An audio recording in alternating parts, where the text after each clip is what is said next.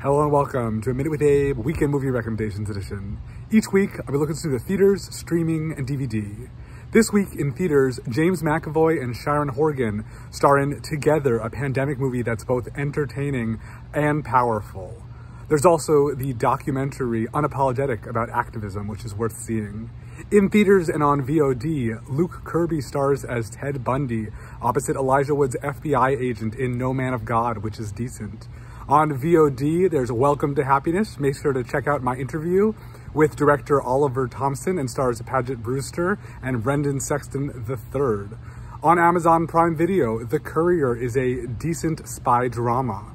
On Hulu, I highly recommend We Broke Up and Disobedience, uh, two very different relationship movies. I wasn't quite as enthralled with Love and Monsters, In the Earth, and Four Good Days.